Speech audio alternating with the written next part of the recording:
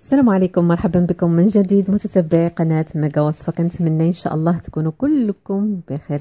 اليوم إن شاء الله غنقترح عليكم جوج وصفات لمائدة الإفطار آه سهلين مهلين ويتحضروا في وقت قصير جدا وهما عبارة عن عصير آه اللي هو عصير أفوكا بالتمر واللوز.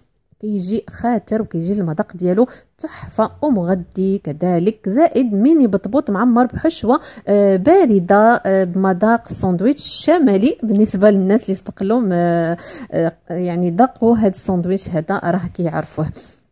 فغادي نحتاج هنايا عندي خبيزة المقلة هادو أو ميني بطبوط صغارين. هاد الوصفة هادي ما يعني مبغيتش نصورها من الأول باش ما يجيش الفيديو طويل. سبق حضرتها معكم كاين في القناة. الناس اللي ما شافوش الوصفة ديالها فغادي نخلي لكم الرابط في صندوق الوصف تمشيو تشوفوه. غادي نحتاج التعمر غادي نحتاج جوج علب التون هادو اللي صفيتهم شوية من الزيت ما تصفيوهمش مرة مرة يعني حتى يكونوا ناشفين. يعني غير شوية غادي نحتاج هنا كيف كتشوفوا عندي جوج بيضات مسلوقين محكوكين بشرتهم هكذا بهذا الشكل هذا. غادي نحتاج واحد الحبة مطيشة أو طماطم صغيرة مقطعة صغيرة. أه واحد القطعة تكون هكذا متوسطة الكاشير الحر اللي حتى هي مبشورة. واحد الحبة الجزر أيضا مبشورة. وحبات هكذا الزيتون اللي قطعتهم صغارين. وهنا غنحتاج نصف بصله صغيرة. مشلضه بهذا الشكل هذا. بالنسبة للناس هذا هو السر الساندويتش الشمالي. بالنسبة للناس اللي ما كيبغيوش هيدا المذاق البصلة خضر فما تعملوهاش أو إذا كنتو غتحتفظوا بهم فبلاش ما تستعملوا البصلة. إذا كان متواجد الخس فعملوه أنا صراحة ما عنديش عليها ما عملتوش ولكن آه عادة كيكون في هذا الحشوة هذه فصافي كنضيفوا كل شيء آه هنا. غنزول هذه القطعة هذه اللي كبيرة. وغادي نضيف كل شيء آه على التون. هنا ما غادي نضيفش أنا لا زيت الزيتون لا زيت نباتية لا حتى حاجة لأنني احتفظت بشوية د زيت التون باش يفزك ليه هكذا شوية الحشوة ما تجيش ناشفة. ويمكن تزيدوا لها إذا بغيتوا شوية د الملح. مع الخس فهذا آه تعميرات كتكون آه عادة عندنا حنا في, الشمال. كنعملوها البوكاديو المعروف في, الشمال جهة طنجة تطوان كيجي صراحة المذاق ديالو غزال. ولكن إذا كنتو غادي تحتفظوا بهاد الخبيزات من الأحسن تجنبوا البصلة لأن البصلة كتسمم ملي كتكون هكذا مقطعة وكتبقى. صافي فغادي نشبروا هيدا. خبيزات ديالنا ونعمرهم بهذا الشكل هذا. حشوة سهلة مهلة وكتحضر في وقت قصير جدا. يعني ما غتاخذش منكم حتى خمسة دقائق الخبيزات أكيد غادي يكونوا مثلا واجدين تعملوا كمية كبيرة وتحتفظوا بها. تبقاو تجبدوا هكذا منا واحد وقت الحاجة عفوا.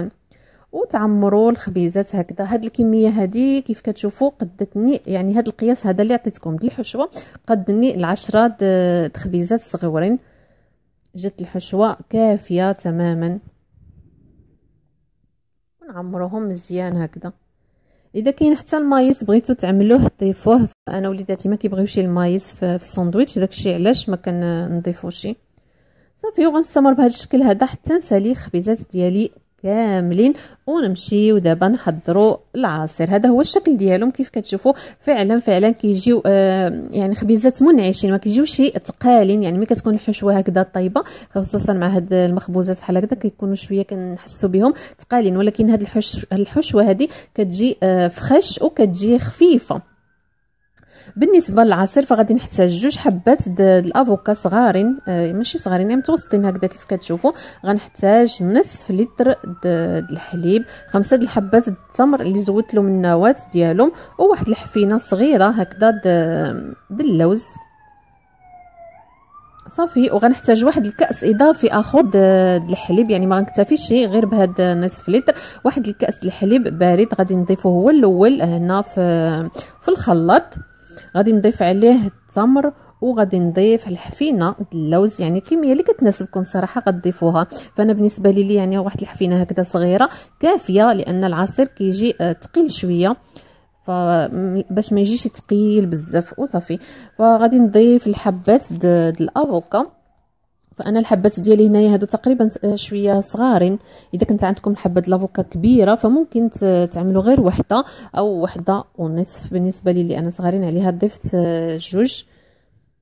صافي غادي نطحنوا هاد الشيء كامل آه، في هذا الكأس هذا الحليب. يعني حتى يتطحن مزيان التمر واللوز.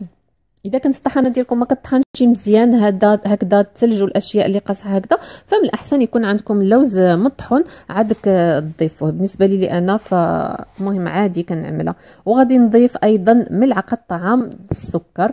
بالنسبة للناس اللي كيبغيو الحلاوة ممكن يزيدوا وممكن ينقصوا صافي فغادي نطحن مزيان حتى كيف كتشوفوا معايا حتى تطحن لي اللوز والتمر. يعني بغيتهم مطحونين.